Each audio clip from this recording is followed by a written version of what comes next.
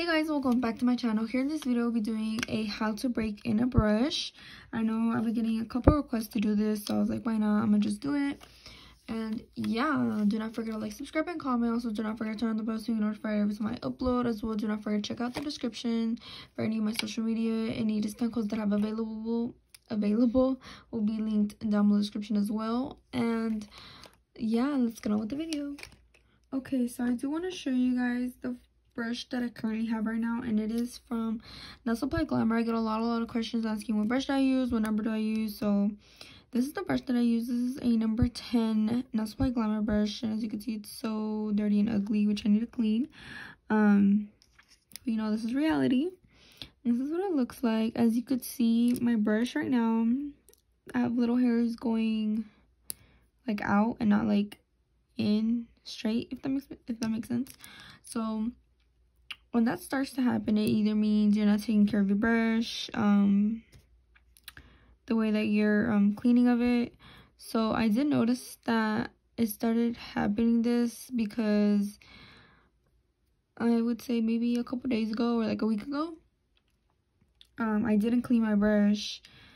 Um, and yeah, this is what happens when you don't clean your brush. So, but I have been using it. Like I used it today, so this is what it looks like. It's, the hairs are just out but this is a number 10 brush. Obviously you can't really see because all the wording is out but you could kind of see. It is a Kolinsky brush and you can see a little bit of their website. And it is a clear handle one so as you can see it's really really dirty. But yeah this is the current brush i'm currently using but i did want to break in a new brush which i don't know yet which one i'm gonna break in but these are the brushes that have been just sitting because I haven't opened them. So first up, let me show you guys.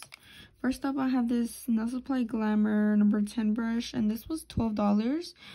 This Kolinsky brush, this is what it looks like. You can kind of see it, the light has a glare, but this is what it looks like. And then I also do have these two brushes, which if you guys watch my hauls these i purchased from aliexpress. So i believe this one on the right is a number 10 and this one on the left is a number 2 this is what they look like. And they just have like this really pretty glitter. So i kind of want to open these two and then just leave this one um and just leave it still in its container. So I am going to open the number 10 brush first. And one thing I do want to say is that if you're gonna if you bought a brush and you're a beginner and it's your first brush do not do not do not store it back in here as soon as you take everything as, as soon as you take this plastic thing off you want to make sure you dispose of it because it is really bad for the brush because if you leave monomer on it, um, if I can't even open it, if you leave monomer on it, um, it will like burn through the plastic. this is what it looks like. It is so pretty. I love the glitter in it. It's like a iridescent holographic purple blue glitter that it has inside. So another thing is as soon as um you get on a brush obviously you want to dispose of this as well you do not want to put this back on because then you will ruin the brush hairs and that's one thing you do not want to do because then you won't be able to like use it as good as its quality if that makes sense so this is what it looks like and i did notice just right now that these brushes aren't pinched now, that's another thing I do want to talk about. Whenever you get a brush, um, it might come pinched, it might not. It just depends where you get it from. So I just noticed that these didn't come pinched, so I'm to definitely have to pinch them. So as you can see, when I mean pinched, I mean this right here. Let me put them side by side. Um, so as you can see, mine has like a little line right there. And if I turn it, it goes in right here as you can see it goes in it goes straight and then it goes back out so it's one thing you need to do to your brush because if you don't um whenever you leave monomer or liquid whatever in it it's just gonna keep going down. And like at some point this part is gonna come off from here. So that's one major thing you want to do to your brush is pinch it. And mine's not fully fully pinched but I still pinched enough where it's pinched. But you do really do want to pinch it but also you do not want to pinch it like super thin because then um it's gonna loosen up the hairs. So I am gonna take off um, the plastic and as soon as you take this off you want to dispose of it. So i am going to throw um, these containers away. And this is what the brush is looking like. So i just want to compare it to this one. So one thing i will say this one is much longer as you can see but if i put it like right here it is the same length going like up like from here to here. As you can see it is the same length. But i'm guessing it's just because it has this little extra thing at the bottom. But i mean other than that it's kind of the same but you know it's still a brush. So now whenever you have a brand new brush you always want to make sure it's always going to come like this. And like whereas it looks round and oval or whatever. Um, i'm not quite quite sure on the terms so just bear with me. But um, one thing you do want to do as soon as you take off the the plastic and the packaging and dispose of it you want to softly softly softly start applying pressure on it. So as you can see it is stiff. So just aside i do already have my napkin. And what you want to do to the brush is just gently gently gently apply pressure to it on a paper towel as you can see it's like really really hard. But you want to be very careful and not like you know just break it. But it is really really hard. I don't know why. Okay yeah you hear that? So i just broke it in. So that's what it means like when you're breaking a brush. I don't know if you guys can hear that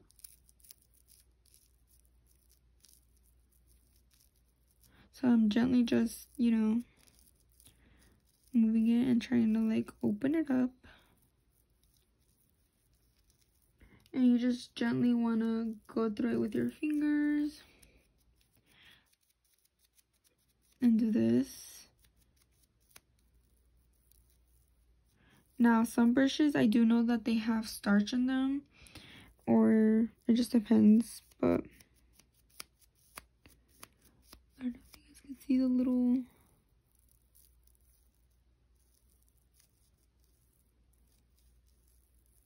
those little like um white particles. I don't know if you guys can see them. They're like really small. But you just want to like flicker the brush so that way you could take out the starch. Or you could just simply do this on a paper towel and like roll it however you want to do it. This is another thing that I do. Is just with my finger. Do that.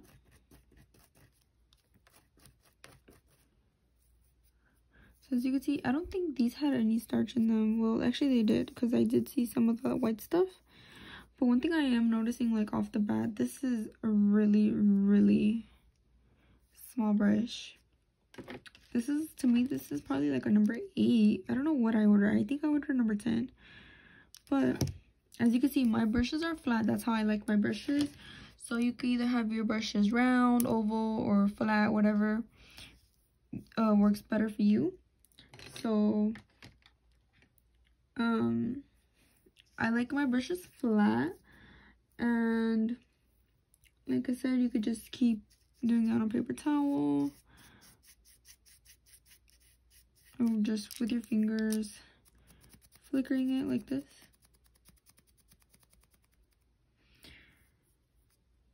And one thing I did did learn from um what's her name? from Natalie Carmona, also known as Ganel32 on here on YouTube, is that whenever you're using a brush, make sure that you're using it on a flat side. Um whenever it has wording. So as you can see, this one doesn't have wording. But whenever I do go in and pinch it, whatever side is pinched, like this, whatever side is pinched, I know that that will be my front side. If that makes sense, whenever I pick up a bead or whatever. So it would be like that and never on the side. If that makes sense. Don't ever pick up a bead like this because your brush, however you do your brush, it's gonna, you know, just mess it up. So you do not want to do that at all. But yeah, once you're done taking out the starch, what you want to do is um, start to shape your brush however you want it. So I obviously, I like I said, I like my brushes flat. And what you want to do to shape your brush is just use some warm water. So right here, I have my little dish with water, with warm water. Um, so that way you don't damage your brush. But what I'm going to do is just dip it in. And look, you see all the bubbles that came out? That's literally all I'm going to do. And you want to gently do this.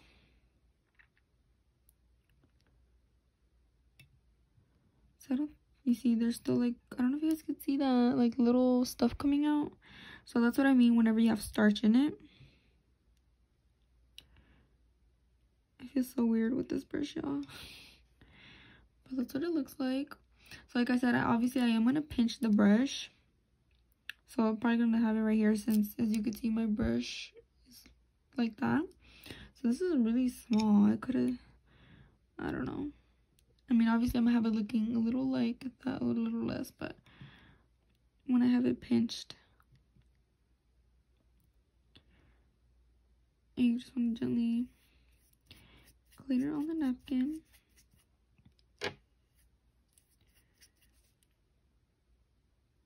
You can mess with it with your fingers and such. So like I said, you could do it round like so. So you just want to round your brush in like little circles to have your brush round or if you want it flat. Like you see all the bubbles that came out again. So you just want to keep doing this until um, you don't see anything else coming out.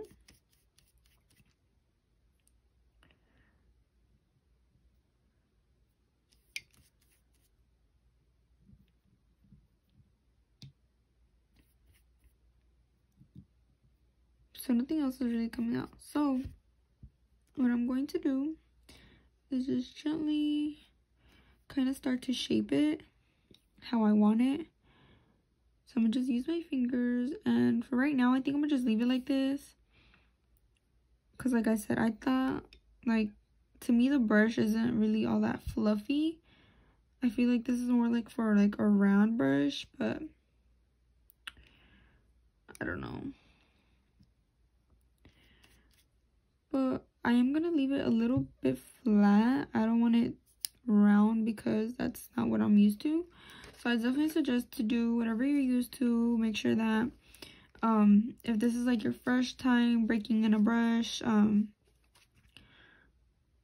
definitely just do whatever works best for you. You could do different things. You could always um, make it round and then um, make it flat, however you want. That's what's gonna. This is what's. This is what mine's looking like.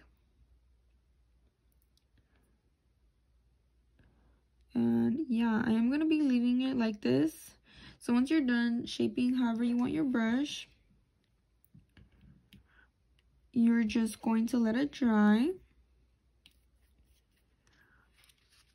and then you will be good for use after but i definitely suggest to pinch your brush before you use it with monomer so while that this one's drying I'm just leave it here on the side while that ones are drying I am going to be doing the same thing to this number two brush. So I'm definitely excited to see um how okay right off how this how these brushes work. Um I just dropped a little plastic.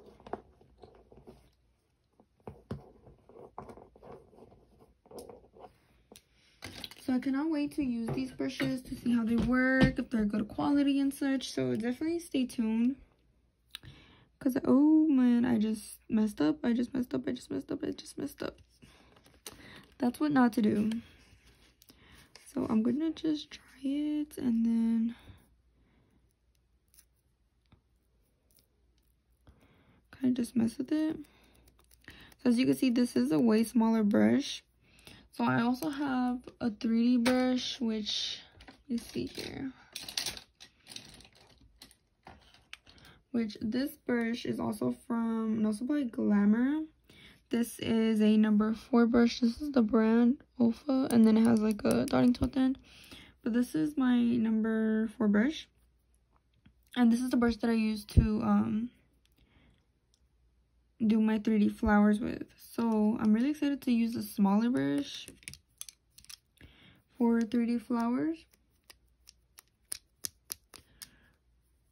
Just to see how it works because I believe I am going to have um, some 3D flowers to do. So after you're done, um, you know, just taking off the starch and messing with it, taking out the starch off, you want to put it in the warm water.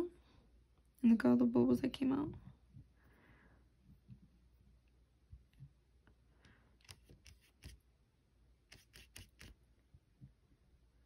So the process to break in a brush, I feel like it's really easy. You just, you know, you would have to watch like a video to know what you're doing if you don't know what you're doing. But like I said, I will be pinching this one as well. As you can see, my 3D brush is also pinched. Right there it goes in. I do have like little hairs coming out. But yeah i'm super super excited. Now this one my 3d brushes i do like to have them around as you can see. I try to just so whenever i'm doing 3d flowers or just 3d art it's way easier than having a flat brush. Because you do want to pick up um more like um drier beads and like more like like really really good beads to do your flowers. And especially since they're smaller beads um they have to be good um beads. So yeah this is literally all you do. And as you can see i'm gonna just leave it like this Going one more time.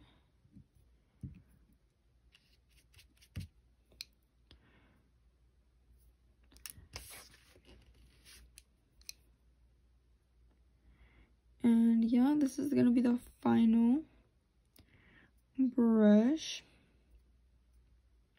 So I also did want to compare it to my number four brush. So as you could see